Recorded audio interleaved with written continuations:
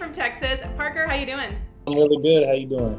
Good. How are things going in quarantine right now? You know, obviously, if things are back to normal, you'd be touring right now, but it's got to be kind of nice to have a little bit of time at home. Um, you know, it is nice. I found that I do enjoy other things besides touring and working, like deer hunting, um, which I mean, I've done that my whole life. But just to have the time to go do it, it's like, man, I had really kind of forgotten that I can go do other things than what I do for a living. You know, you're from Texas and you grew up playing guitar and writing music. How did you get a start in music at such a young age? Well, really, I think it was my older brother. Kind of, uh, he's six years older than me, um, and he was kind of had a knack for writing songs and playing guitar at a really young age. And I didn't even know that that's what I wanted to do. I just was doing what Big Brother was doing.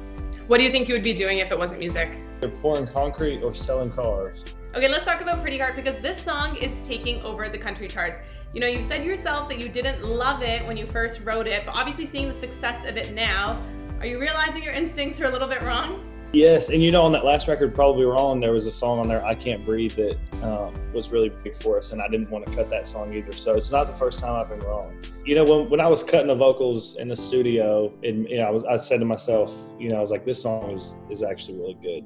As soon as I write, so it just never seems good enough right away, and then you know, I'll come around to it a little bit later. And huge congratulations on your EP, Hollywood Gold. You just dropped it, but it's already become the best selling EP of 2020. Tell me a little bit about the project. You know, we were full-time touring these last two years and um, finding time to write was really kind of killing me because I was flying to Nashville every week writing and then flying back to the road, flying to Nashville, flying back to the road. Um, and so I, I kind of wrote a lot of those songs real late night. And, and so when it came time for Hollywood Gold to be put together, we just kind of, you know, I think again, we were throwing darts and seeing what stuck and, and those six were the ones. So most of the songs you wrote yourself, but there is a song on there that you cut that was written by Chris Stapleton. How was it when you got that song? Did it feel like a perfect fit? It's when I sent it to my dad when the label had sent the song, he said the same thing. He was like, he thought I'd written it just because it sounds, it fit on this EP and, and everything else that I was, you know, spitting out at the time. Like a Cowboy kind of just hung right in there with him. You couldn't tell any difference. When and we cut the song, I knew it was good um, so I didn't have to second guess anything. I really enjoyed that part of it.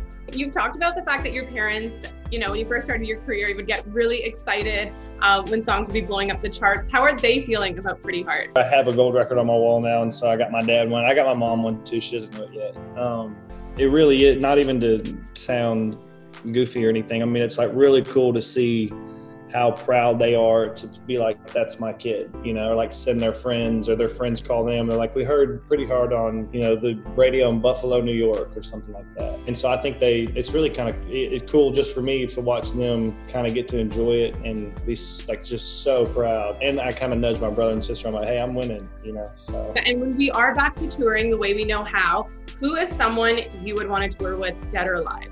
If i could go on a full tour with someone and play my 30 minute opening set and then go watch their show from side stage every night for 45 nights. It'd have to be John Mayer or George Strait. Amazing, Parker. Huge congrats on the EP and thank you so much for taking the time. Thank you so much. I appreciate you putting up with me and just giving me a little bit of your time.